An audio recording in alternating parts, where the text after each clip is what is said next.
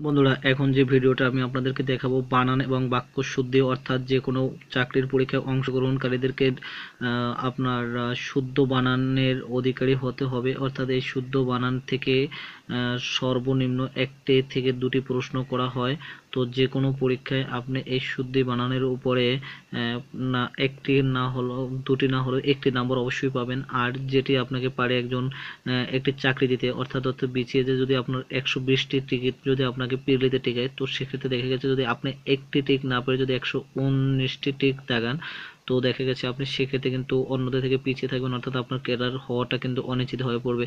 তো বন্ধুরা, আমার এই ভিডিওটা আপনাদেরকে অবশ্যই অবশ্যই হেল্প করবে আই শিওর কারণ হলো আমি আমি এটা নিশ্চিত। কারণ হলো আমার এই ভিডিওর এই ভিডিওগুলো আপনি দেখতে যদি সমস্যা হয়তো পোস্ট করে নেবেন এবং এগুলো যদি পড়েন, এর বাইরে আর কোনো আসবে না ইনশাল্লাহ আমি হান্ড্রেড পার্সেন্ট শিওর তো আমার এই ভিডিওটা যদি আপনার সামান্য পরিমাণ যদি উপকৃত করে থাকে, তাহলে অবশ্যই অবশ্যই আমার এই চ্যানেলটাকে সাবস্ক্রাইব করবেন। এটা আপনার কাছে আমার অনুরোধ। বন্ধুরা, যদি আমার ভিডিওটা হেল্পফুল আপনার হয়ে থাকে।